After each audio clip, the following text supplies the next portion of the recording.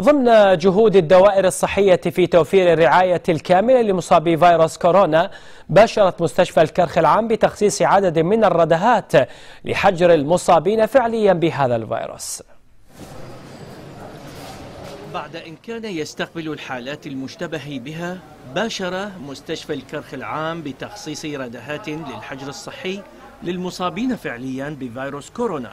نتيجة المسوحات الميدانية التي تجريها الدوائر الصحية في المناطق المكتظة بالمواطنين كحالة استباقية لمنع انتشار الوباء. حاليا يعني بسبب ازدياد الأعداد أه وازدحام المستشفيات الأخرى ازدحام مستشفى الفرات أه أصبحت مستشفى الكرخ تستلم الحالات الموجبة أيضا. الرصد المكثفة يعني هسه إحنا مو ننتظر المريض يجي. وانتظر أهله إذا واحد من عندهم ظهرت عليه الأرض الأعراض. لا. هسه الفرق مال دائرة صحة الكرخ حتى لو بعد منتصف الليل من نكتشف حالة موجبة وتجي للمستشفى راسا تطلع فرقة لبيتهم تاخذ عينات وتحجرهم.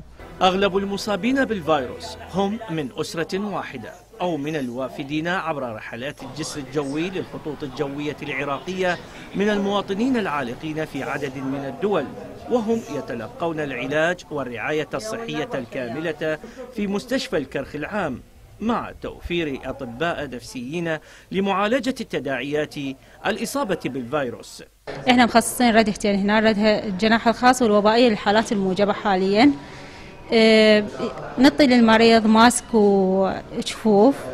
بعدين الممرض يستقبله. الطبيب يكتب له علاجات والممرض على ضوء العلاجات كليتها ينتهي. لأن كل العلاجات حاليا متوفرة بالمستشفى. إذا اي أكو أكو مرضى يجون مرات يعانون من اضطراب نفسي، إحنا هنا عندنا أخصائي للحالات النفسية. هو يفتر عن المرضى ويدعمهم نفسيا. خلال هاي الفترة يعني وزارة الصحة عن طريق دائره صحة بغداد الكرخ وفرت لنا كل الأجهزة والمستلزمات والمعدات الوقايه الشخصية اللازمه لإجراء هاي الفحوصات. ومستمرة طبعا هاي الأمور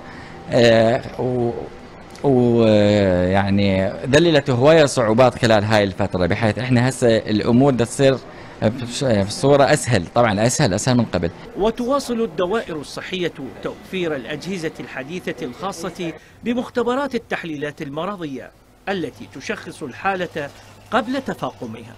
من بغداد محمد العيداني العراقي الإخباري.